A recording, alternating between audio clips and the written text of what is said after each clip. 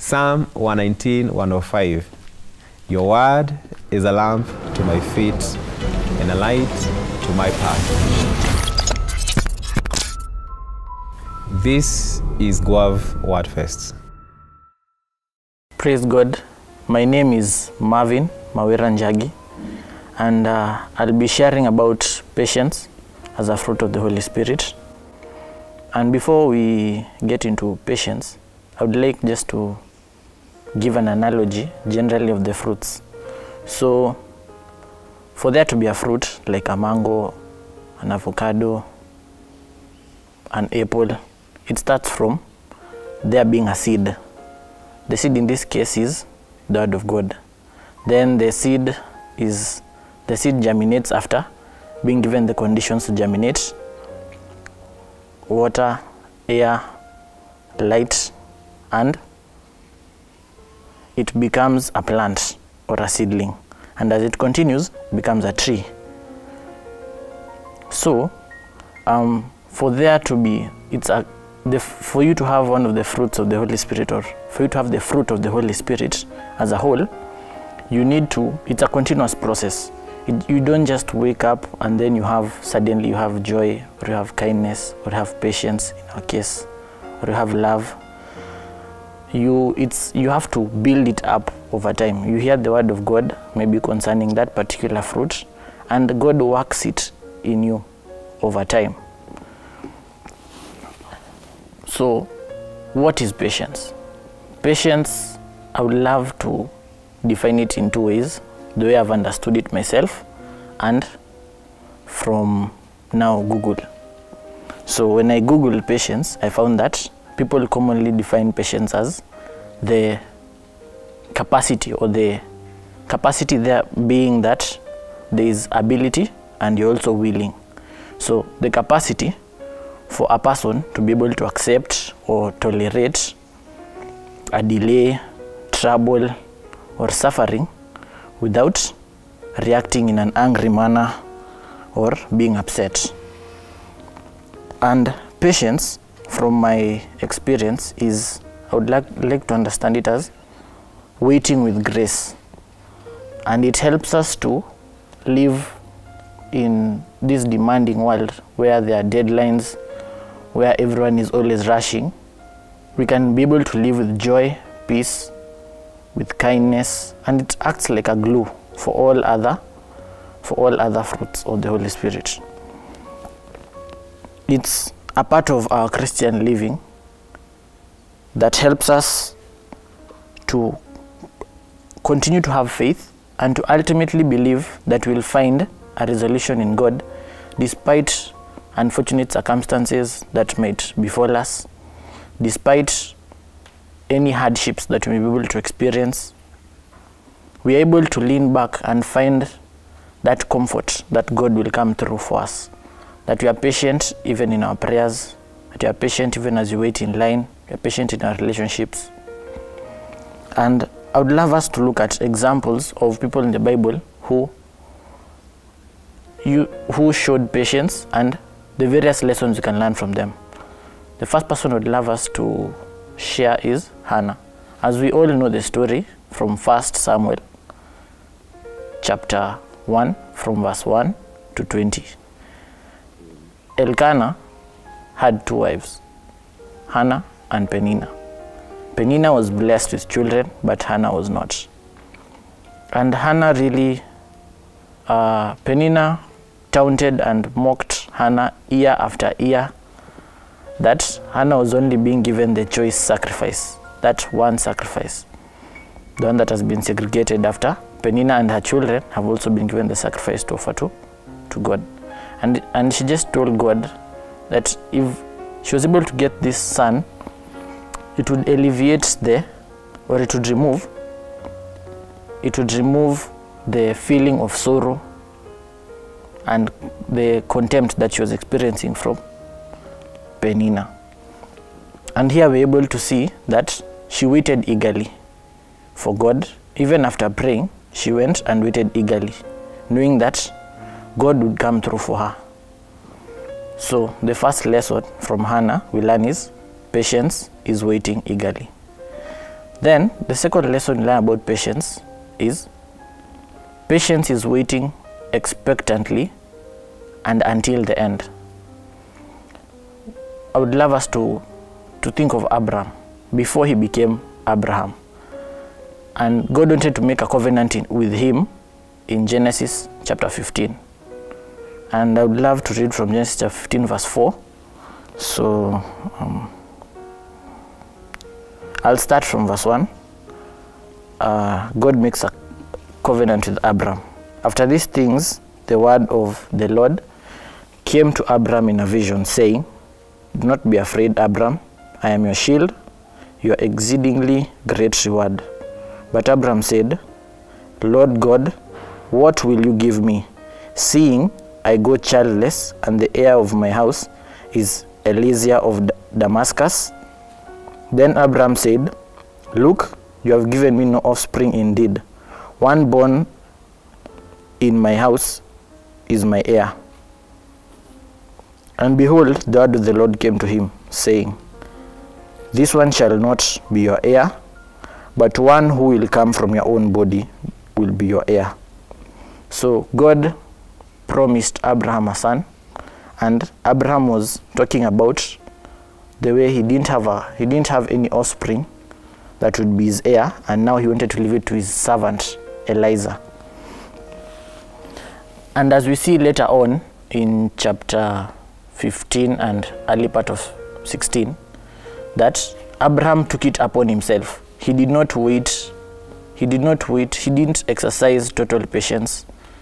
He waited for a while, and then there came a moment where Sarah offered Hagar, the servant, for Abraham to have a child with, and he accepted. So we see there that he did not wait fully, or he did not wait expectantly. He did not wait until the end, because later on he was still he still had a son, who we now know who we know as Isaac, but he could have waited instead of accepting Sarah's offer for having Ishmael. And it was also uh, we also see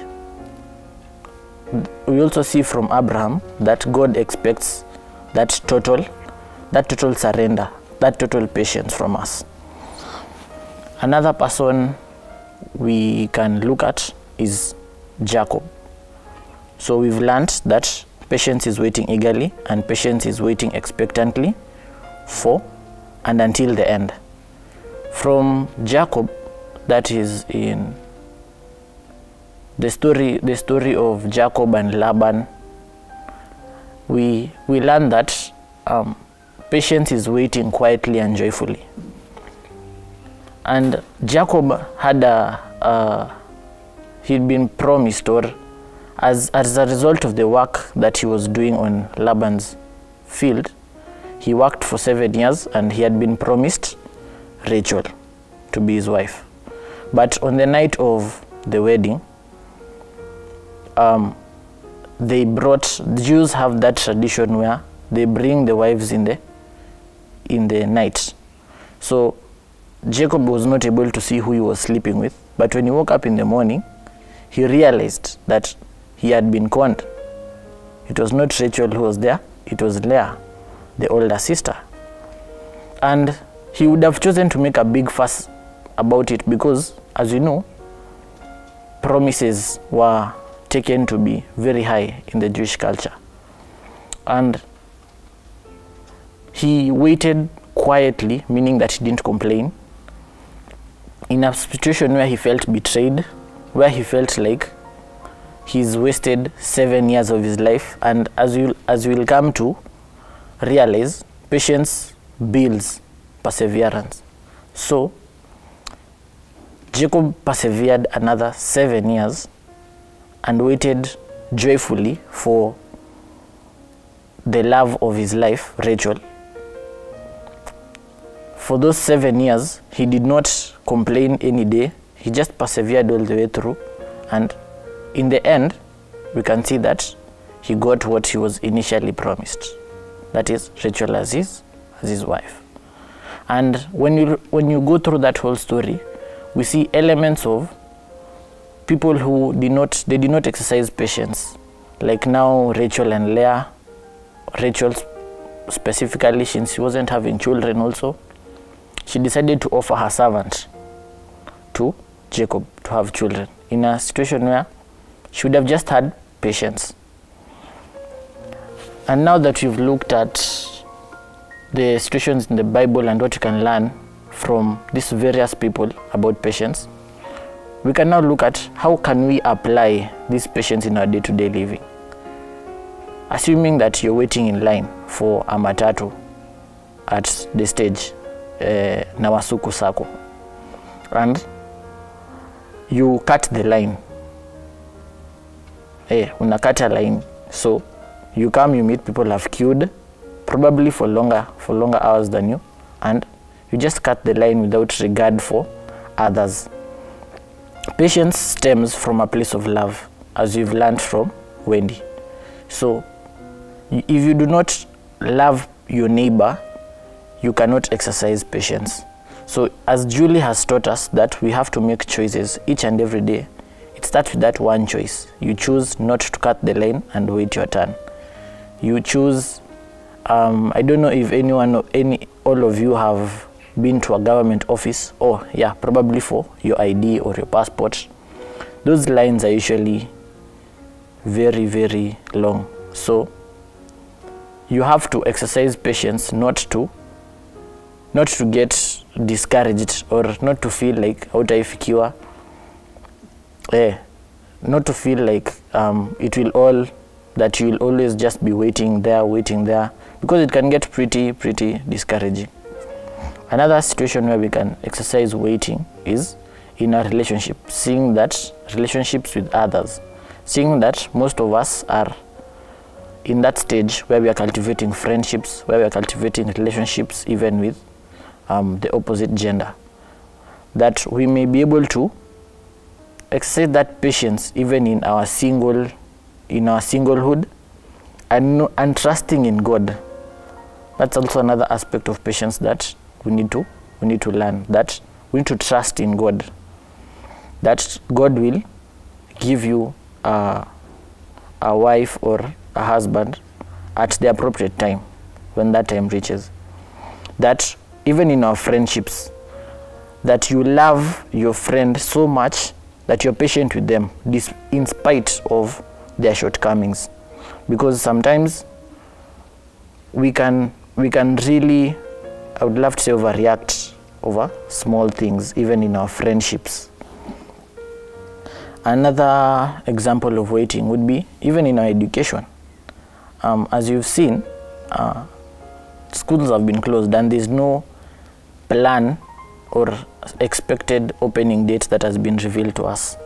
But even in this moment we are urged to have patience and understand that it's god's timing.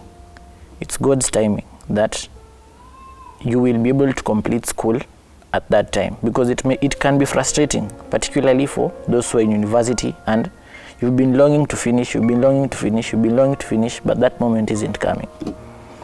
So we are we also urge to exercise patience in that aspect of our lives. Also in prayer because sometimes we pray about things and we expect that immediate response from god that if it's not sasa ni sasa hivi that kama si leo itakuwa next week. But inaweza kuwa next year inaweza kuwa in five years.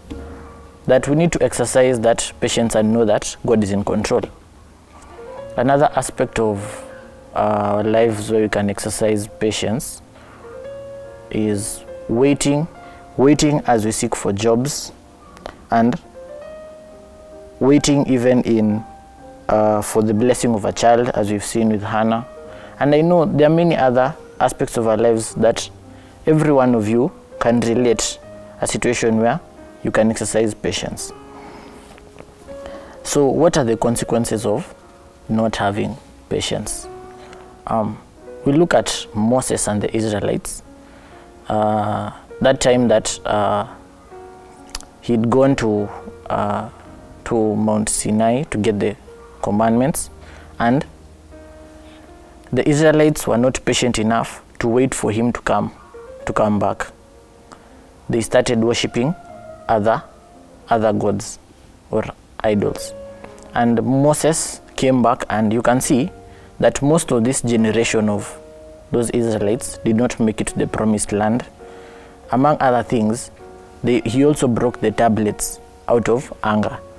So we see that Moses was not patient with the Israelites, but also the Israelites were not patient to understand that Moses had gone to God and that he would not be immediately back. It would take time. The only the lesson that would love us to take if you do not remember anything else is that patience is a virtue and virtues just like as you said earlier or fruits of the holy spirit they are cultivated over time. So you may not have patience today but as you continue to pray as you continue to read the word of god as god works it in you over time you'll be able to reach that level that you will have patience so even as i wind up um, the only place you cannot exercise patience is in giving your life to Christ. That we can we can be able to understand that God is calling us to Him, and the Lord loves us and is patient with us despite our sins, despite our shortcomings. Each and every day, He makes that choice to be, or He's already made that choice to be patient with you by having His Son, who's died on the cross for us for our sins and he's redeemed us in that way. And he is calling each and every one of us to him.